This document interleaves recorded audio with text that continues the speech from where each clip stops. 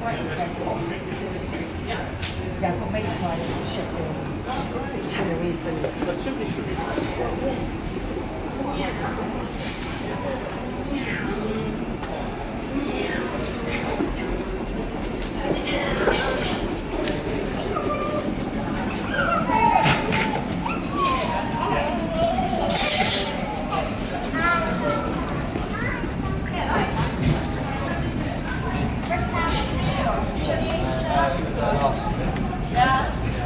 Jeg